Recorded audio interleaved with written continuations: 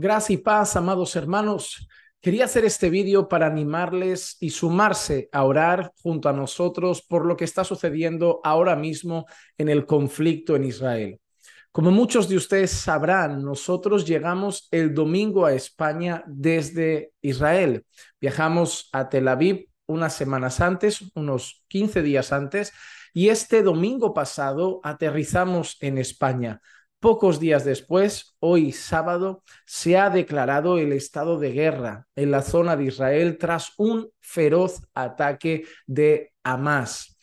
Hermanos, cuando nosotros miramos esto, lo primero que me salió en el corazón, y no quiero resultar egoísta, pero dar gracias a Dios, porque yo me imagino lo que hubiera sucedido una semana antes.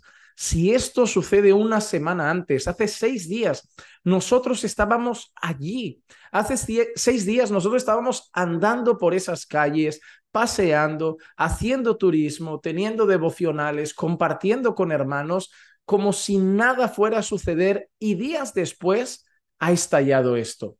Algo que nos dijo el guía nosotros le preguntamos en una ocasión si Israel era un país violento y él nos aseguró que Israel era un país muy seguro, de los países más seguros del mundo, en el sentido de vandalismo. Y es cierto, Tú no veías a tu alrededor carteristas, gente robando teléfonos, veías incluso niños andando por, ya era oscurecito un poco por la noche, volviendo a casa en grupo de niños, y no había esa preocupación de que alguien le hiciera algo a un niño, alguien te quitara la cartera, alguien te golpeara en la calle. Y él nos dijo lo siguiente, mira, dice, nosotros no tenemos el vandalismo que vosotros tenéis, pero cuando nosotros tenemos un problema, se trata de algo grave y es el terrorismo.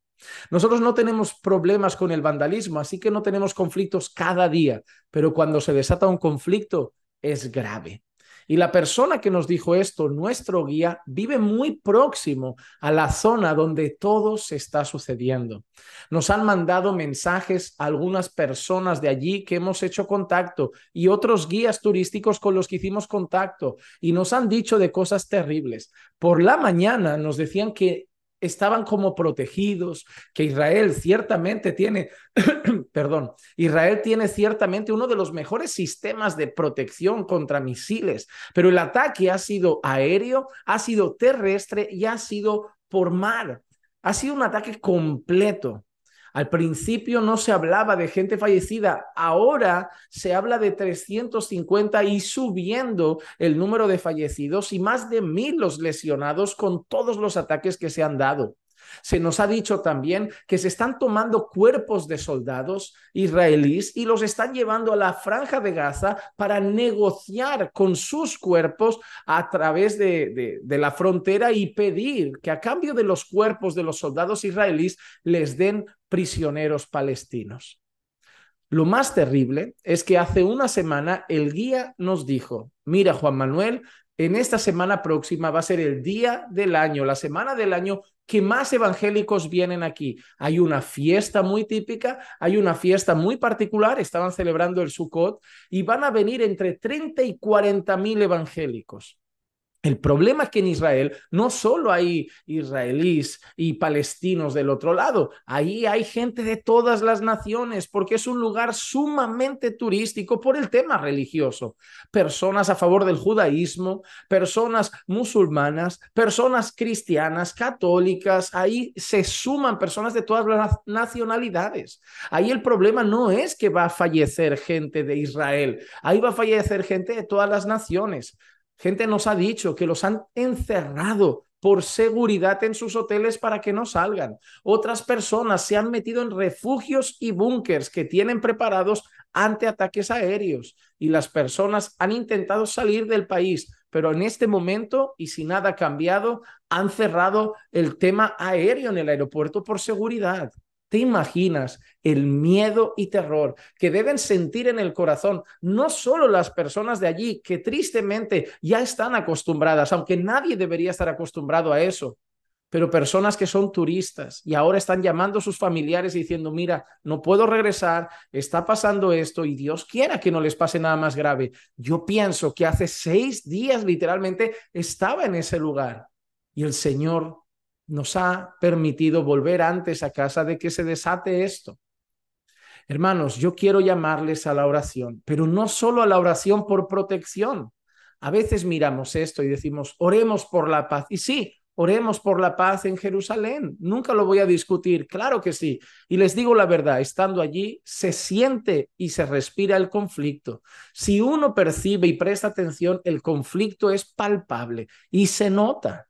Así que sí, hay que orar por la paz en Jerusalén, pero no solamente eso. También debemos orar por su salvación. Cuando estábamos allí, las personas nos decían que no creían en nuestro Mesías que no creían en nuestro Señor Jesucristo y que esperaban a su Mesías. Y nosotros sabemos que el único camino al Padre no es Moisés, no es Abraham. El único camino al Padre es Cristo Jesús. Por lo tanto, no solo oremos por la paz en Jerusalén, no solo oremos por las familias que ahora se encuentran bajo ese conflicto, oremos también por su salvación. Vamos a hacer una cosa, aunque sea un minuto, y en este vídeo Hagamos una breve oración por ellos y te animo luego a compartirlo para que más personas se sumen hoy a esta oración. Nosotros tomamos cariño de personas que viven allí. El guía que nos dirigió vive allí, el chofer que llevaba el autobús del grupo vive allí y personas que conocimos como un pastor evangélico cubano vive allí. Así que no solo para que el Señor los cuide y los guarde y a sus familias, sino también para que el Señor traiga salvación a esa nación. Padre, te quiero primeramente dar gracias por habernos traído a salvo a casa. Gracias por haber guardado nuestro regreso, Señor. A veces de un día para otro las cosas pueden cambiar tanto, pero tú dispusiste en tu perfecta providencia estar hoy aquí en este lugar. Amigos nos han escrito hoy preocupados para saber si habíamos regresado, pero gracias a Dios, Señor, nosotros ya estábamos aquí pero son muchos los que están allí, no solo los que viven en esa nación, sino también muchos turistas constantemente que viajan para visitar esos lugares. Señor, protégelos, protégelos en medio de este conflicto, protégelos en medio de este estado de alarma, cuídalos de los ataques que se están dando, guarda sus vidas. Asimismo, Señor, te pedimos que consueles el corazón de todos aquellos que han perdido a un hijo, a un padre, a una hija, pues allí el servicio militar no solo lo hacen los hombres, sino también las mujeres de manera obligatoria. Hay muchas mujeres, Señor, jovencitas, 18, 19 años, jóvenes, 18, 19 años, haciendo el trabajo militar. Hoy madres y padres habrán perdido a sus hijos, otros a sus hermanos. Señor, cuídalos y guarda el corazón, consuela al afligido, fortalece a aquellos que ahora mismo están devastados por el dolor de la pérdida de un ser querido. Señor, oramos por la paz en Jerusalén, pero también te rogamos, Padre amado, abre sus ojos para que puedan ver tu gloria en la faz de Cristo. Señor, sabemos que nadie puede llamar a Cristo Señor si no es por el Espíritu. Pero así como a nosotros nos abriste los ojos, abre los ojos de ellos no solo de los israelíes, también de los palestinos, de todos, Señor. Que personas de toda lengua, tribu y nación confiesen que Jesús es el Señor.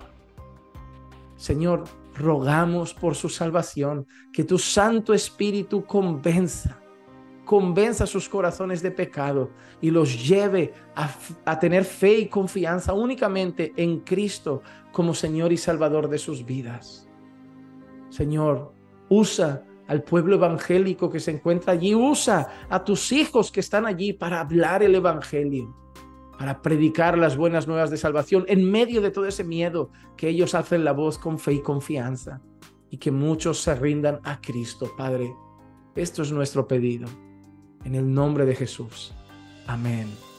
Amén. Y amén.